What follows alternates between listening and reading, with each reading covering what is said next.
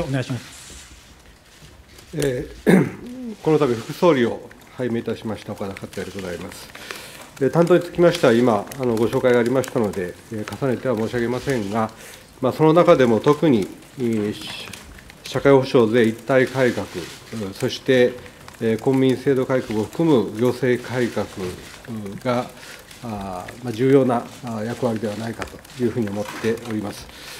えー、実は先ほどあの初閣議の後乾杯の時に、まあ、私に乾杯の温度を取れということで、まあ、その時に少し各閣僚にも申し上げたわけですが、この内閣は、あこれからの日本の未来に対して、まあ、極めて大きな責任を負っていると。まあ、これから希望を持って、えー、日本が、あるいは日本人が、あ将来に希望を持って生きていくことができるかどうかというのは、この内閣に課された課題をしっかりと実現できるかどうかにかかっているというふうに思いますので、えーまあ、私自身、副総理としてですね、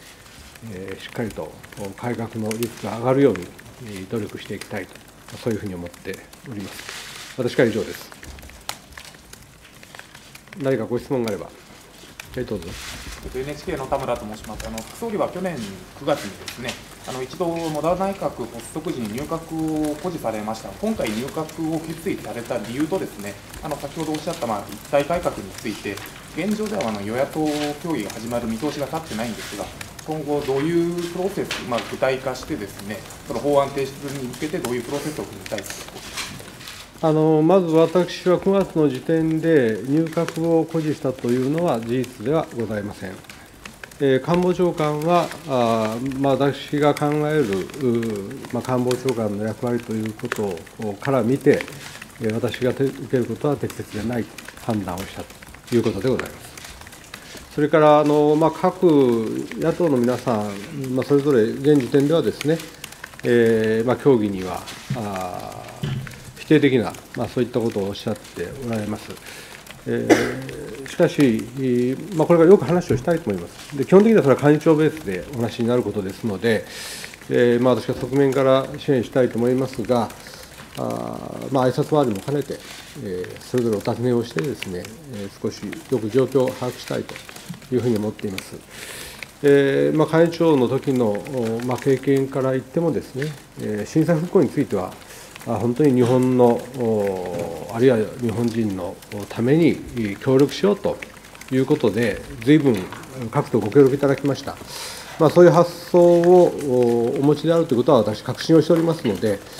まあ、同じ考え方に立てばですね、えこの税社会保障一体改革についても、必ずや話し合いの道は開けるはずだと、まあ、そういうふうに確信をしております。他に、はい、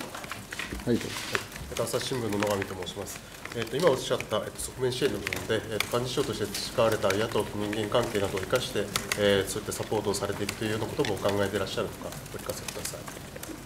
あのまあ、税社会社会保障税一体改革のを、まあ、責任を持って進めていく、まあ、そういう立場ですから、まあ、あらゆることについて、えー、しっかりとやっていきたいというふうに思っています。はい日本テレビの佐藤と申します。あの先ほど総理もお伺いしたんですけれども、国会議員の定数削減というのもですね、まあ、行政改革の象徴的なテーマだと思うんですけれども、また幹事長のこのテーマに関する見解、そしてタイムスケジュールとしては、その消費税増税の法案をですね出す前に、まあ、その問題を解決すべきと思ってらっしゃるのか、それとも、どの辺でこうこの問題を解決すべきかとまあ、それは先ほど総理はお答えになったと思います。あの一刻も早く定数削減、まあ、我々で言えば80ということですから、まあ、そのことは実現しなければならないというふうに思っています。しかし、十分お分かりのようにですね、まあ、我々は比例で80ということをマニフェストに書きましたが、まあ、これは各党、まあ、おそらく連立与党である国民新党も含めてですね、賛成できないという意見が圧倒的でしょうから、法律出すのは簡単ですが、あ結局それを成立させようということであれば、もう少し深く各党で話し合っていく必要があると、まあ、これも胸筋を開いて、えー、あのしっかりと実現していきたいというふうに思います越地幹事長は、与党単独でもまあ民主党単独でもですね法案提出すべきだという考えを示していまあ、そういう考えもあるでしょうね。えーしかし、まあ、実現する見通しはやっぱり重要だというふうに私は思いますので、まあ、会長ともよくご相談してみたいと思います。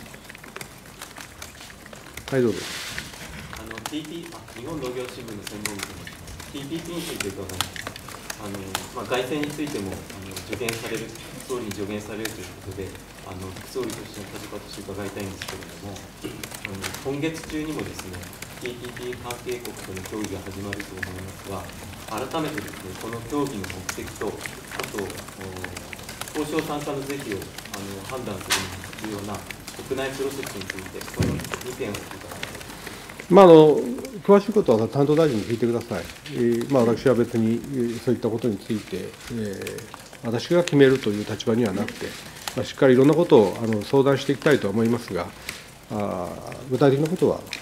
あの担当大臣に聞いていただきたいと思います。私はしかし、まあ、TPP について、日本の将来を考えれば、あこれはぜひえー実現しなければいけないと、まあ、そういうふうに確信をしているわけでございます。すみません、もう一方とさせていただきたいと思いますはい、。どうぞ。読売新聞の足利と申します。えー副総理はあの幹事長時代に小沢一郎元代表の党員資格停止処分を主導した経緯もあり、その小沢グループからはその副総理の起用に反発する声もありますが、どう受け止められるかということと、えー小沢グループを中心に消費税増税に慎重な意見は依然、党内で根強いと思うんですけれども、どう理解を求めていくのか、この2点お願いします。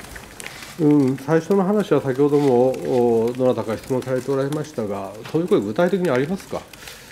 えー先ほど総理がそう聞いたらあの、はっきりと答えられなかったと思うんですが、まあ、それはもちろんたくさんの人いますから、これはどのグループということじゃなくて、まあ、いろんなことを言う人はいるでしょうけれども、そのグループとしてどうこうということは、私は全く承知をしておりません。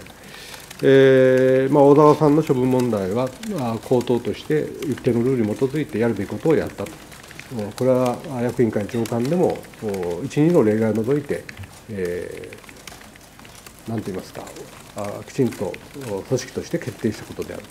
ということです。えー、2番目の質問なんだっけ、あの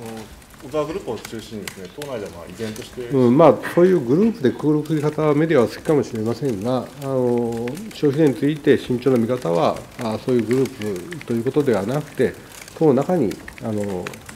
かなりあるということは承知をしております。しかし、あの一生懸命議論した結果、あの党の合意になったわけですから、その合意については尊重していただけるものだというふうに考えています。では、以上をもちまして、岡田副総理の会見を終了させていただきます。どうもありがとうございました。あと続きはあの私の会見、多分8時頃からやりますので、普通の方は聞いてください。向こうでやりますから。以上です。